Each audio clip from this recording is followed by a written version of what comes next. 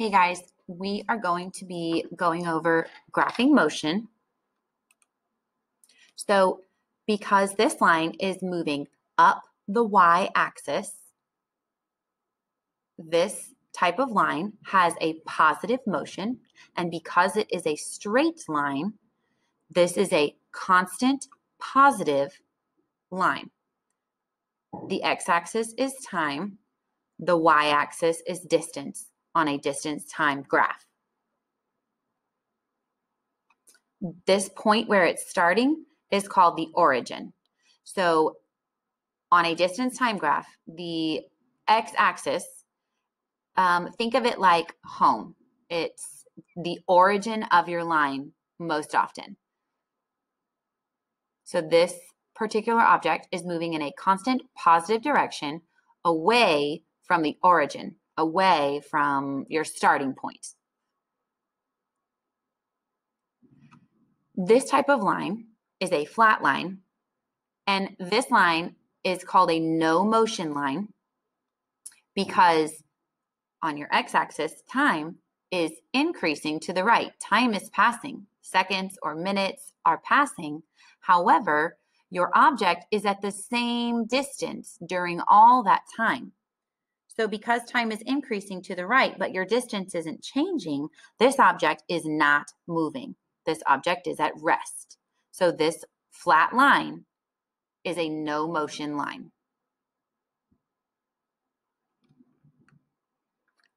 Because this line is moving up your y-axis, it is a positive motion.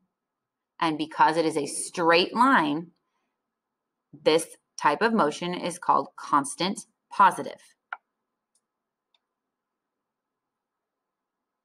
Once again, this line is moving up the y-axis and is a straight line, so it is constant positive. This particular line is moving up the y-axis much faster than this line. So let's say this is three minutes of time that have passed, and this person has only reached this distance away from home. So they're moving at a much slower pace because after three minutes of time have passed for this person, they are all the way up here and this far away from their origin, their home or starting point.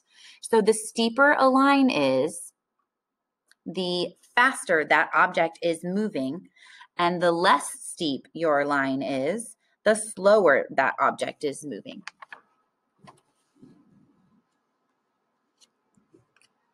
This type of line is called a constant negative line because this line is moving down the y-axis back towards home, your, your x-axis.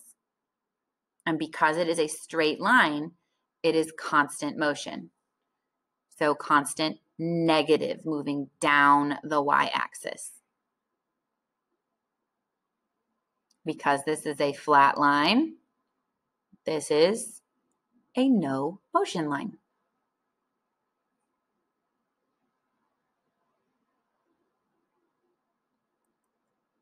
This is also a no motion line. Time is passing, but their distance is not changing. So as we're starting to go through this, I'm hoping that you will see and be able to describe the type of motion before I reveal the answer.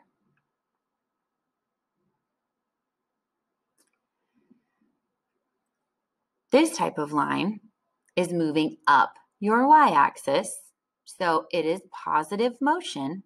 However, because it is not a straight line, because it curves, this is considered increasing speed because it is becoming more steep. It is curving up. So a curved line means the object is changing speed. And when you have a steeper curve, then that object is moving faster. So this object is increasing in speed. This is a positive motion. And because it is a curved line and it is curving up, it is becoming more steep. This is positive increasing motion.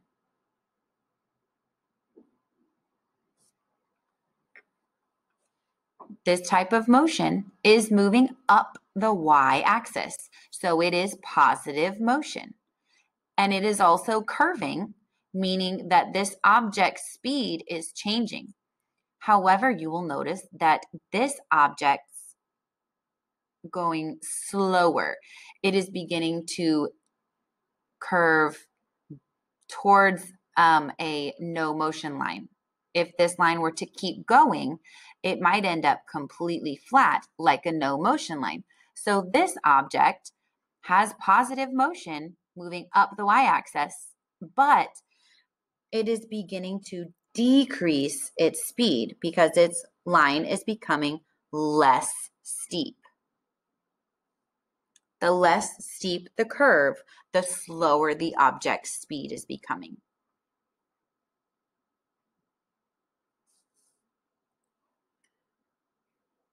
This object is moving down the y-axis, so it is negative motion. Because it is a straight line, that means constant speed. So this is a constant negative motion.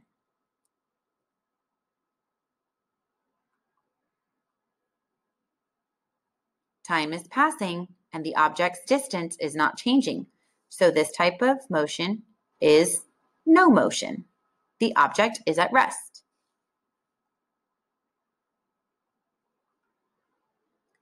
This type of motion overall is positive motion moving up the y-axis.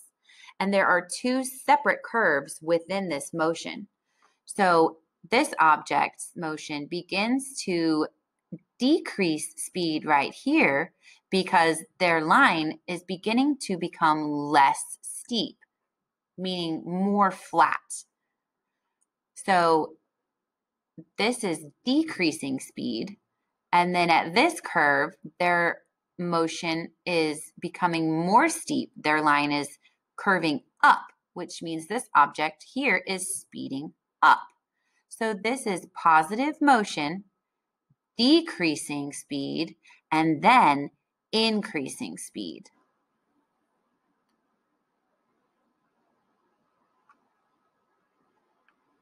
For this type of motion, we're going to break it down segment by segment. So just this line segment right here is moving up the y-axis and in a straight line. So this line segment is constant positive motion. Then the object is moving down the y-axis back towards home. So, th- and it's in a straight line. So this is constant negative motion. This is the flat line.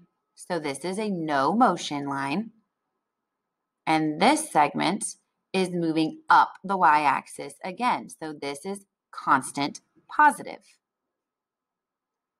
So if you were to match a story to this motion graph, if this is the origin, and let's say the origin is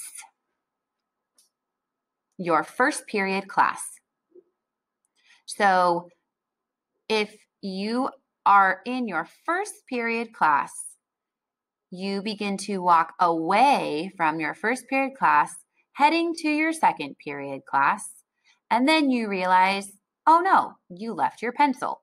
So you turn around and you start heading back towards where you just came from, back towards your first period. Time is passing and you're moving back towards first period, and then you realize it's in your pocket. So you have stopped. Time is passing. You have stopped and looked for your pencil amongst your belongings and you found it in your pocket. So then you turn right back around and you move on towards your second period class. So a story does not show the actual path that that object is taking.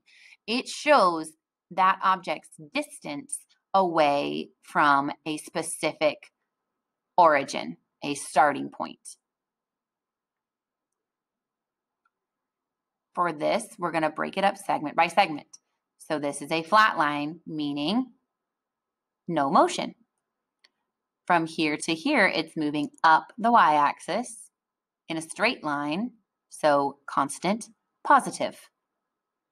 This line segment is moving down the y-axis in a straight line, meaning constant, negative.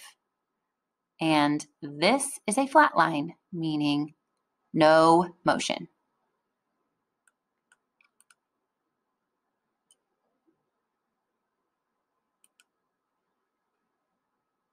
This segment is moving down the y-axis, so it is a constant negative. This is a straight line moving up the y-axis, so constant positive. This is a flat line, meaning no motion. So constant negative, then constant positive, and then no motion. Overall, this is moving up the y-axis. So it is positive motion. However, it's curving. So right here, this curve is becoming less steep. It's almost flat right here. So this is decreasing speed, becoming less steep. This one is becoming more steep. It's curving up. So right here, this object is speeding up. So it's increasing speed. Then it is decreasing speed again, and then increasing speed again. This could kind of describe when you run around the track. Like if you are running the straights and walking the curves, you might be start out running and then you decrease your speed to walk around the curve, then you increase your speed to run the straight. You decrease your speed to walk the curve, you increase your speed to run the straight.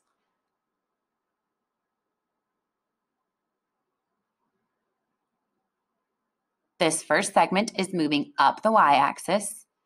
It's a straight line, so this is constant positive motion. This is a flat line, meaning no motion. This is a constant negative line because it is a straight line moving down the y-axis. And this little baby segment is a flat line, meaning no motion. I am hoping that you were able to guess the motion once we were at the end for each segment. So what you are going to do is now log into Canvas and click the Learn button and complete both activities located there. I hope you guys have a good day.